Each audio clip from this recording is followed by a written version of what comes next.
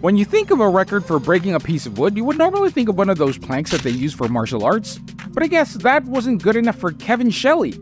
Kevin didn't use wooden planks, he used wooden toilet seats. But to take it over the top, Kevin doesn't just break the toilet seat with his fists. Kevin broke 46 toilet seats with his head.